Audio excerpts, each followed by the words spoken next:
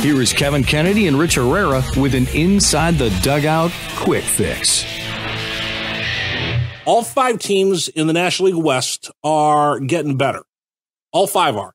Yes, the, Do- they are. the Dodgers, the. Dodgers Yep. with all that young youth, with all that youth, going to the World Series, they've gotten better, and the and the window will continue to stay open for them for a while. The Giants, getting Longoria, have kept their window open for at least two years before they're going to have to rebuild. So you give Madison Bumgarner, Buster Posey, add Longoria because he's a thirty something, is not a kid. You you give those guys in their early thirties another opportunity to challenge the Dodgers. I'm not sure they have enough because the Dodgers are awfully good. Rockies are a playoff team getting better under Bud Black. Uh, Arizona's still getting better, and they're they're tinkering around over there. And then the ball club that I'm around every day, the San Diego Padres. I'm telling you, after walking away from the winter meeting, seeing what AJ Preller has in store, that's the ball club that their window of opportunity is going to open in about two or three years when everybody else's is closing. And if they could get another veteran like an Eric Hosmer to go with Wil Myers to help those uh, lead those young guys, that young offense that the Padres have building, uh, they're going to be pretty good offensively.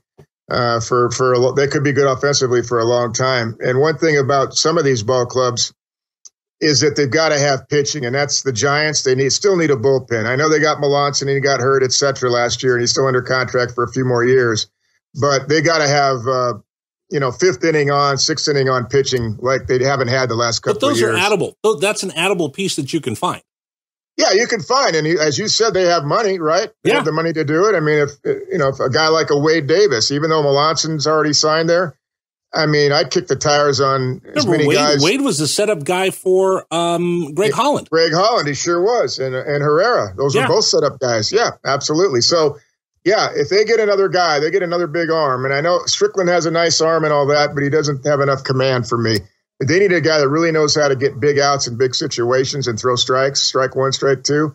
They do that to go with Melancon. If he comes back and is the guy he was two years ago, then they're going to be, you know, pretty competitive.